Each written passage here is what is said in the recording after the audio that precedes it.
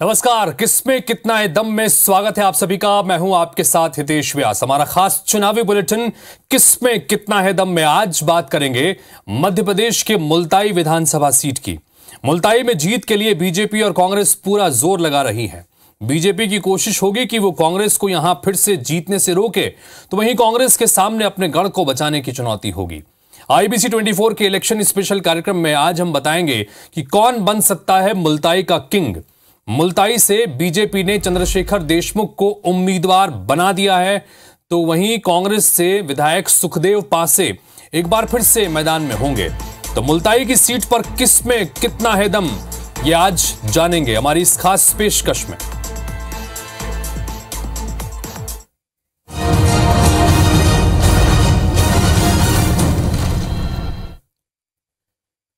तो मुल्ताई के मुकाबले में कौन विजय होगा, ये तो वक्त बताएगा, लेकिन उसके बावजूद अगर देखने की कोशिश करें, जानने, समझने की कोशिश करें कि अभी जो दो चेहरे मैदान में हैं, उनमें किसमें कितना है दम, आज यही जानने की कोशिश करेंगे। दोनों उम्मीदवारों के मज़बूत और कमज़ोर पक्षों को भी जानेंगे।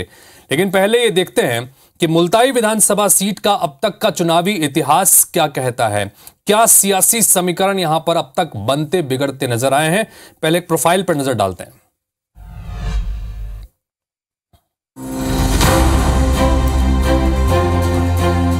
कभी बीजेपी ने जीत का परचम लहराया तो कभी कांग्रेस ने कब्जा जमाया। समाजवादी पार्टी और निर्दलीय भी इस विधानसभा सीट पर काबिज रहे। ऐसा सियासी इतिहास रहा है मुल्ताई का।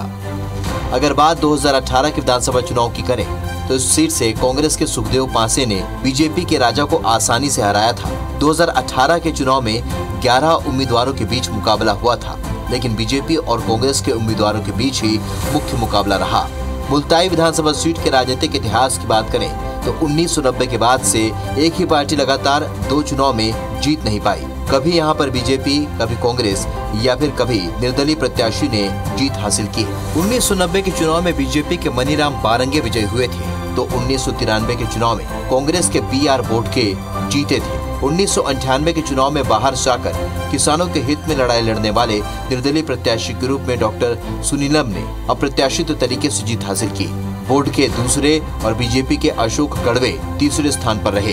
2003 के चुनाव में बीजेपी ने जीत हासिल की, लेकिन 2008 के चुनाव में कांग्रेस ने बीजेपी से सीट छीन ली। फिर 2013 के चुनाव में बीजेपी फिर यहाँ पर विजयी हुई और कांग्रेस के सुखदेव पासे को हरा दिया।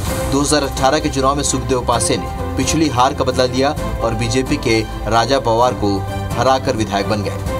इस बार चुनाव में बीजेपी ने चंद्रशेखर देशमुख को प्रत्याशी बनाया है तो कांग्रेस फिर से वर्तमान विधायक सुखदेव पासे पर दाव लगा सकती है। इसके अलावा समाजवादी पार्टी और बीएसपी में भी दावेदारों की कतार लग गई है। अब देखना होगा कि इस बार के चुनाव में कौन जीतेगा मुल्ताई का मुकाबला। विवेक पटैया मुल्ताई ट्वेंटी तो चंद्रशेखर देशमुख, जिसे बीजेपी ने अपना उम्मीदवार घोषित कर दिया है, उनके सामने सुखदेव पासे, जो कांग्रेस के वर्तमान विधायक हैं, उनके बीच मुकाबला होगा। ये दोनों एक बार पहले 2013 में भी आमने सामने हो चुके हैं, तब बीजेपी के प्रत्याशी ने जीत दर्ज की थी। अब एक बार फिर से मुल्ताई का मुकाबला तैयार है इन दोनों प्रत्याशियों के लिए। दोनों प्रत्याशियों की तुलना करते हैं अलग अलग पैमानों के आधार पर तो उम्र के लिहाज से देखें तो चंद्रशेखर देशमुख बासठ साल के हैं और सुखदेव पासे, जो इस वक्त कांग्रेस पार्टी के विधायक हैं, वो पचपन साल के हैं। शिक्षा के पैमाने की बात करें, चंद्रशेखर देशमुख ग्रेजुएट हैं, सुखदेव पासे ने एमए कर रखी है और साथ ही एलएलबी की है और पेशे से वकील भी हैं। तो सुखदेव पासे क्या संदर्भ में ये ये महत्वपूर्ण बात है कि एमए के साथ साथ एलएलबी कर रखी है। इसी तरह से राजनीतिक अनुभव की बात करें, उन्नीस में पहली बार विधायक का चुनाव लड़े, तब सक्रिय उसके बाद से हैं।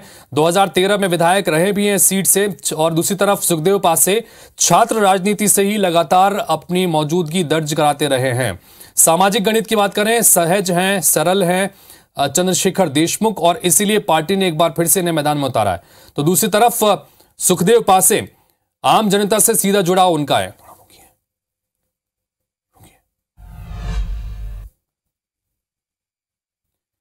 बात करते हैं चंद्रशेखर देशमुख की, जिन्हें बीजेपी ने यहाँ से एक बार फिर से अपना उम्मीदवार घोषित कर दिया है।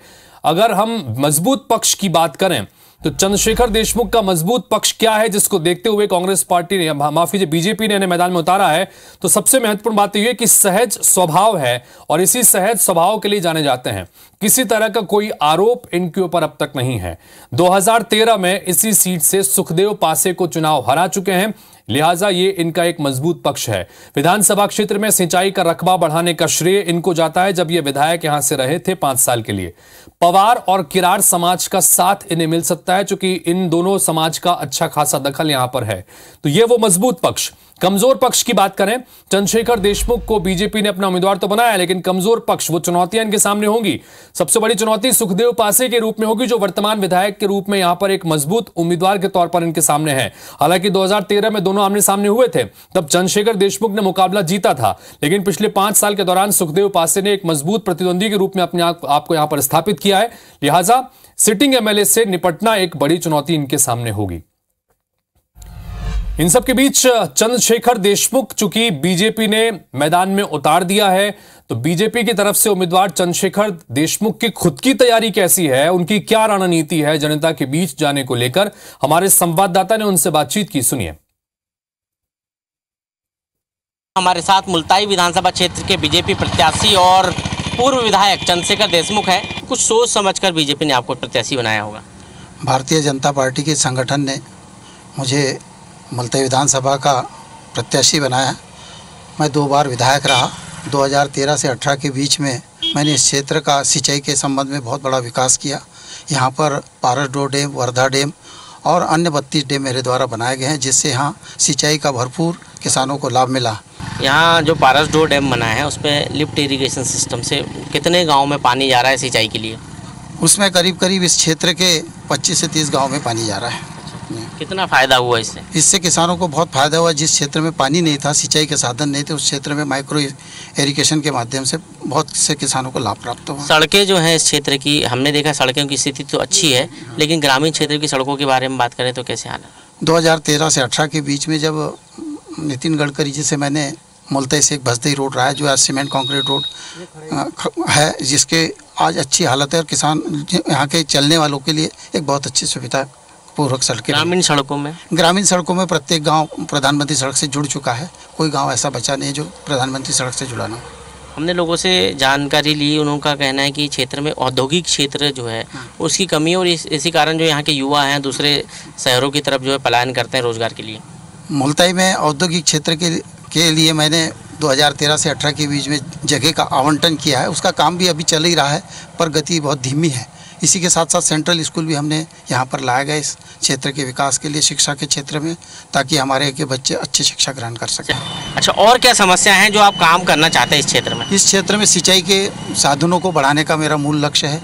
औद्योगिक क्षेत्र स्थापित हो युवा रोजगारों को रोज़गार मिले ताकि यहाँ के किसान भी मज़बूत हो। मन में एक भाव आता होगा कि अब मैं ये बड़ा काम करूँगा क्योंकि ये दो बार विधायक रहे हैं आप यहाँ से और तीसरी बार फिर चुनाव मैदान में है। तो एक मन में होते हैं कि क्षेत्र के लिए बहुत बड़े, क्योंकि कई बार ऐसे, कई विधानसभा क्षेत्र हमने देखे जहाँ पर विकास खूब हुआ है। तो आपके मन में कोई बड़ा काम हो? नहीं, औद्योगिक क्षेत्र के लिए यहाँ बड़ी बड़ी फैक्ट्रियाँ लगे, लोगों को रोज़गार मिले, युवाओं को। और दूसरा, इस क्षेत्र में सबसे पहले मैं उन किसानों को, जहाँ असिंचित जगह है, उसको सिंचित करने का पूरा प्रयास करूँगा। तो चंद्रशेखर देशमुख को अपने पाँच साल जब वो विधायक रहे, उसमें किए गए कामों पर ही यकीन है कि एक बार फिर से जनता उस पर भरोसा जताएगी। इधर बात करते हैं सुखदेव पासे की जो कांग्रेस के वर्तमान विधायक हैं और माना जा रहा है कि एक बार फिर से इन्हें मैदान में उतारा जाए, उतारा जाएगा। कांग्रेस की तरफ़ से इनके मज़बूत पक्ष क्या है, जिसकी वजह से इनकी दावेदारी मज़बूत होती है? सबसे पहले मज़बूत पक्ष यह है कि कमलनाथ के सबसे करीबी नेताओं में इनकी गिनती होती है। ये इनका एक फ़ायदा हो सकता है, चूँकि टिकट मिलना समय संदर्भ में। उसके अलावा क्षेत्र में लगातार एक्टिव हैं, समाज का वोट बैंक सबसे ज़्यादा है और इसकी वजह से इन्हें फ़ायदा मिल सकता है। सियासत का अच्छा लंबा अनुभव इन्हें है। आम जनता से सीधा जुड़ाव है, ये इनका मज़बूत पक्ष है सुखदेव पासे को, जिसकी वजह से एक बार फिर से इन्हें कांग्रेस पार्टी मैदान में उतार सकती है। कमज़ोर पक्ष की बात करें, सुखदेव पासी की कमज़ोर पक्ष के दौरान अगर बात करें तो पंद्रह महीने मंत्री रहे चूँकि कमलनाथ सरकार में, लेकिन उस पंद्रह महीने मंत्री रहने के दौरान कोई बड़ी उपलब्धि इनके खाते में नहीं है जो इन्होंने इलाके की जनता के लिए की हो। जनता की उम्मीदों पर उतना खड़े नहीं उतर पाए हैं, जिस वजह से एक एंटी इनकम्बेंसी इनके खिलाफ हो सकती है। दोनों प्रत्याशियों के एक ही समाज में होने के होने की वजह से वोट बटेंगे और ऐसे में इसका नुकसान इनके हो सकता है। एंटी इनकम्बेंसी का सामना इन्हें करना पड़ सकता है। ये कुछ कमज़ोर कड़ियाँ हैं जिस पर सुखदेव पासे को काम करना होगा। अब कांग्रेस के विधायक हैं सुखदेव पासे, एक बार फिर से जीतने के लिए तैयारी कर रहे हैं और इस बार उनका क्या चुनावी प्लान है, इस पर भी हमारे सहयोगी ने उनसे बातचीत की। सुनिए। मुल्ताई विधानसभा से विधायक है सुखदेव पानसे। लगातार तीन बार के विधायक है सुखदेव पांसे और एक बार फिर मैदान में उतरने वाले हैं। इस बार चुनौतियाँ क्या है आपके सामने? क्योंकि फिर से अब मैदान में और बीजेपी का प्रत्याशी भी सामने आ चुका है। मैं आपके चैनल के माध्यम से हमारी जनता जनार्दन का सादर अभिवादन करता हूँ, सभी को नमस्कार करता हूँ। निश्चित तौर पर हर चुनाव बड़े चुनौतीपूर्वक होते हैं। और चुनौती यदि अच्छी रहे तो उतना ही ज़्यादा काम करने में मज़ा आता है। और जब से मैं 2003 से एमएलए हूँ लगातार अपोजिशन में रहा हूँ विपक्ष का विधायक रहा हूँ। केवल चौदह महीने सरकार हमारी रही। मुझे कमलनाथ जी ने पीएचई मंत्री बनाया। उनके आशीर्वाद से हमने मुल्ताई मासोद क्षेत्र में एक ऐतिहासिक काम करने का काम काम करने का काम किया। सा, साढ़े सात सौ करोड़ की समूह नल जल योजना हमने अपने मुल्ताई मासो क्षेत्र के लिए स्वीकृत कराई जिसके माध्यम से हमने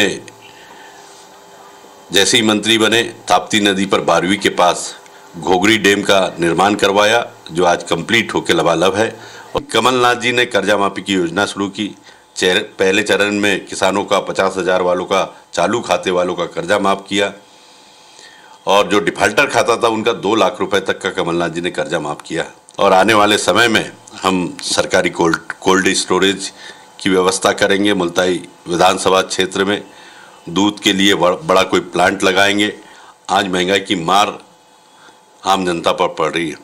पेट्रोल महँगा, डीजल महँगा, खाने का तेल महँगा, रसोई गैस महँगी, बिजली का बिल महँगा, जो ओल्ड पेंशन है, वो फिर से कर्मचारियों के लिए शुरू आदरणीय तो ये कांग्रेस पार्टी के वर्तमान में विधायक है सुखदेव पासे, जिन्हें आप इस वक्त सुन रहे थे, और कमलनाथ सरकार में ये मंत्री भी रहे हैं। लिहाजा इन्हें अपने समय के इस कार्यकाल के दौरान किए गए कामों पर यकीन है।